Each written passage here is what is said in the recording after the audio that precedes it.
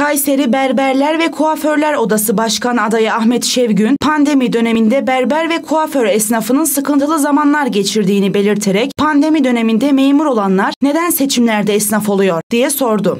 Bizler geçen dönemden de adaydık. Ee, çok az bir farkla oy kaybettik seçimimizi. Bu dönemde adayız. Ee, en güzel e, şekilde bu mesleğimizi e, hizmet vermek için adayız. Geçen dönemden meslektaşlarımızdan bizleri e, destekleyen, desteklemeyen bütün meslektaşlarımızdan Allah razı olsun. Bu dönemde desteklerinizi bekliyoruz. Yenilik her zaman için güzeldir diyoruz. Ne olursa olsun 20 senedir mevcut başkanımız görev yapıyor. Bizler de mevcut başkanın yapmamış olduğu görevleri yapmak için adayız. Seçim çalışmalarımızdaki sıkıntılarımızı esnaflarımız daha iyi biliyor. Ee, Kendilerine e, bizzat e, ziyaretlerinde bulunduk. Kendilerine anlattık. Ee, Burada da anlatmak isterim.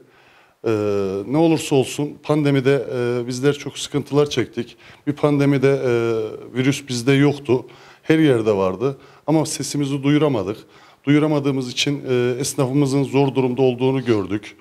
Onun için de e, bizler yine e, deminki demiş olduğum gibi adayız.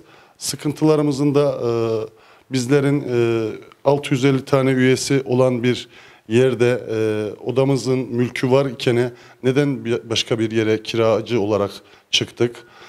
Ee, Burada bizler e, 1700 tane üye olarak keşke kendi odamızda yanından iyi bir yer alıp da otursaydık, kendi mülkümüzde kalsaydık diye hesaplarımız var.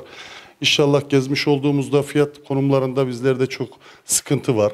Ruhsatsız çalışan meslektaşlarımız var.